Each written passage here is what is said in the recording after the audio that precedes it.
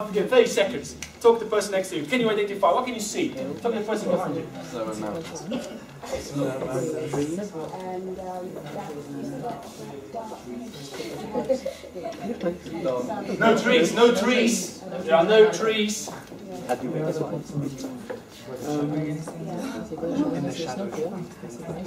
I'll lower, I'll lower the light a little bit so we can see the contrast a bit better. I think that's that's where I think that's where you tend to find the language. Okay. That was a lot of time. What can you see? Yes, you. Um, What can you see? I can see this blue thing. This blue thing. Very good. Indeed, the blue thing. How would you call that blue thing? Good. Blue ice. And that's in fact what it's called. Blue ice. Awesome. Nice one. What else can we see? What can you see? Standard. Standard. What can you see? Snow. Snow. Awesome. You've gotta know that the white stuff is indeed snow. What else can you see? Two things. Yes. The cliffs. The cliffs, the mountains. Yeah. Very good. So that those are the mountains. And in fact, if I I'm gonna take you there right now. Their place. That's that mountain over there. And this is where the base camp was uh, very close to the mountain. And it looks huge. It is huge. From where I was standing to reach the bottom of the mountain, two hours hike two hours, you, you lose sense of how far things are because of the, um, of the ice. So I'll take you there to where the snow is as well. And this is that picture looking the other way and looking at the mountain up, up. So that mountain is that way. So this is another range of mountain. It took us a day and a half to cross this glacier. You know, it doesn't look very far, but you know, you've it took a day and a half with sleds just to cross the glacier. Um, so, so we crossed from there to there, so those, those mountains there. And blue ice, there you go, nice one. And that's the blue ice, there's a, a rock that fell from a mountain, thawed to the ground, just refroze after us. I thought it was quite a cool picture. It's about this big. Just flew off a mountain.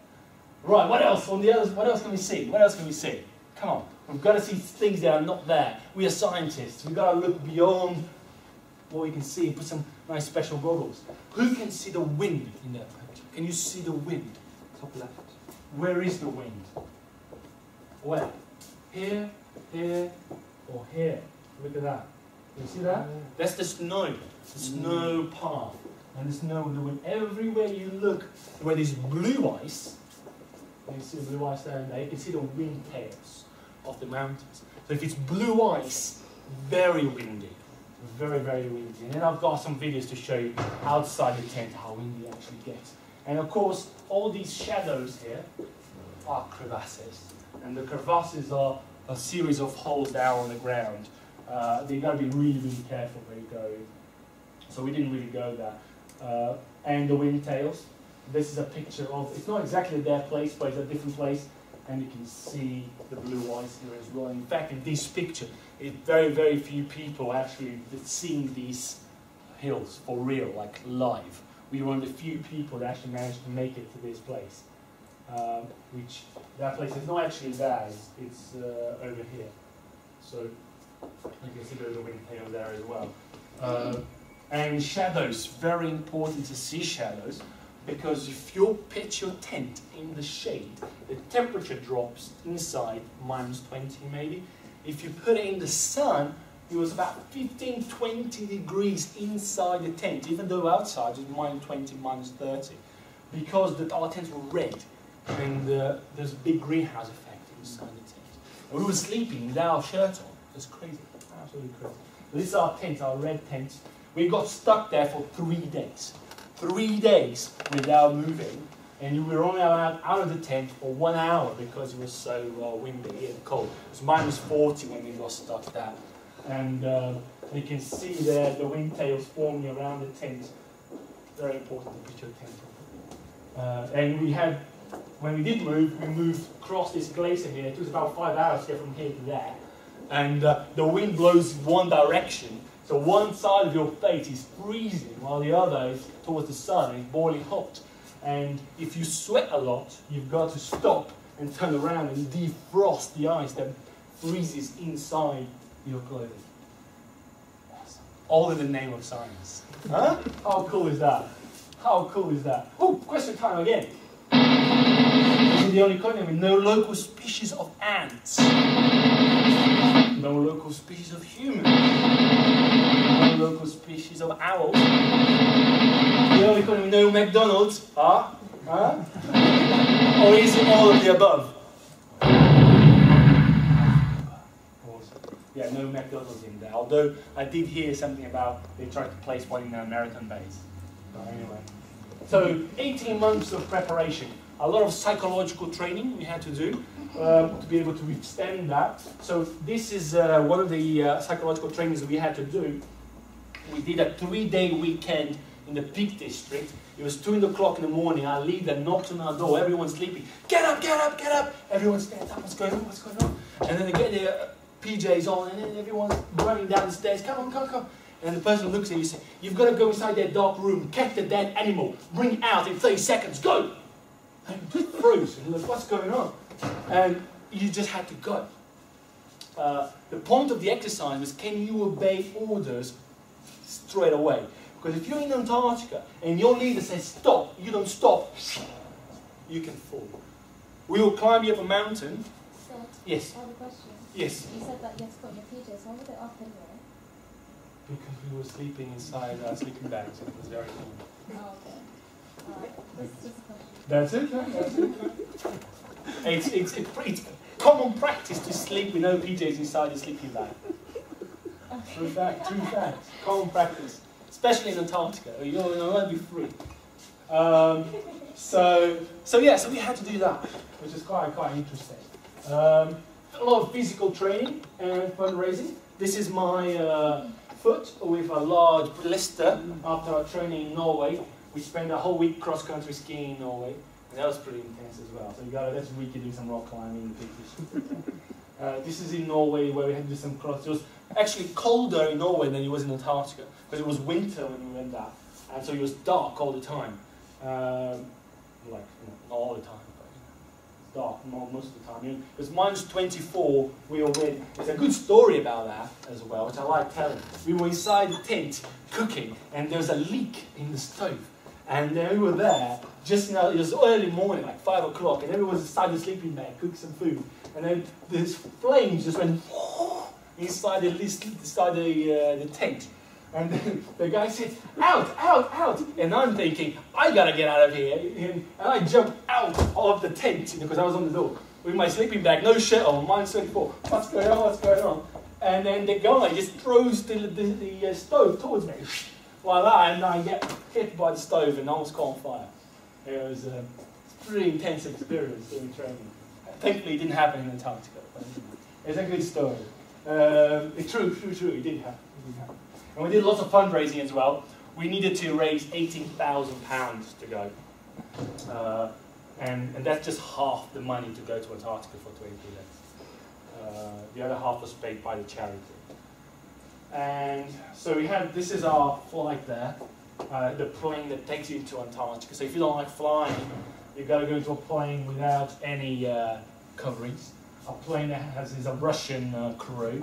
Uh, it's a plane from the 70s. It's got a massive car inside. It's got leather. It's got a wall clock. It's got wires hanging out, and it's got the sandwich, which was made by this guy here. So uh, there you go. Five hours on a flight with that crew. There. It's, um, this is what you've got to face together. And this is the, the, the plane from the outside. So awesome. So where do we go? Let me take you to Antarctica again. So this is our track. This is what we did. So uh, you can see that we camped on near the blue ice. Not a very good idea. I'll take you there. So this is Union Glacier, and, and, and that's the base camp. Uh, the stretch of blue ice is about 10 kilometers in, in distance where the plane lands. So there, those mountains are about 12 kilometers away from where we are now. So you lose sense of distance. You've got to be really careful when you're in Antarctica in terms of distance. That's the blue ice runway. Let me take you there so you can have a sense of what it looks like. So that's the blue ice runway with the wind. The plane lands in and lands out again.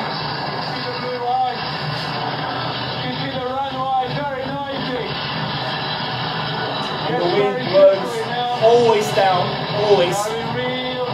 Because Antarctica is like an inverted bowl. The wind always flows south, always, away from the South Pole. So, look at the snow coming. That's pretty intense. That's cool. So the plane lands in there and out on the same day, can't stay there. Because otherwise the engines would freeze. So he stays in and the engines stay on and then collects people in or equipment and then it flies back out again. So you can't stay in the town. Yes. Um, one question. What if you're delayed and you miss the flight back? How would you know when, when the plane? You would they because they have people communicating in the mainland, telling them about the weather. There's a webcam that stays there permanently as well, which they placed uh, to look at the weather. There's a weather station as well, and uh, the Russian crew are very very particular about going to Antarctica. They won't go until unless the weather is perfect. If the wind is above, I don't know, 60 kilometers an hour, 50 kilometers an hour, they won't go in. So, um, so it's quite quite intense. So if you're there, you need to go on the next flight. You just have to sit and wait. when the flight comes, it comes and it takes you. Um, so those are those are the uh, Nimbus Hills where we uh, also went to. It looks close as well. There's quite a bit of a track to get there. There's a snow that we, that's where the uh, bottle got dropped, and that's where I did a lot of my UV measurements. I'll show you later on as well. And this is the Flanagan Glacier uh, where we got stuck, and that's Mount Sporley. But it wasn't just pain as well. We had a lot of fun. Uh, you know, you've got to go do science, but you have fun as well. So we used one of our tents as a kite, and uh, that's me in red. That's the uh, that's Lindsay, the chemistry teacher. And she wants to get it going, but she doesn't know much about physics, so uh, her weight is not very well distributed in the uh, in the sled. She's standing there, and I'm telling you, you gotta sit down to distribute your weight, reduce the friction. And goes, Nah, I'm a chemist, I know. So, uh. I'm a physicist, you see, so I like making chemistry. Sorry about that. And uh, so she tries, doesn't happen. The wind blows quite strongly, you can see. That's why we got stuck for three days. And then uh, I tell her to, uh, sit down. You see how much actually ran? It looked quite close, and I ran quite a bit. Uh, so you can have a bit of fun as well, you know. You've got to find. We also played cricket there as well uh, with snowballs. It was very fun. So uh, that's where we got uh, stuck.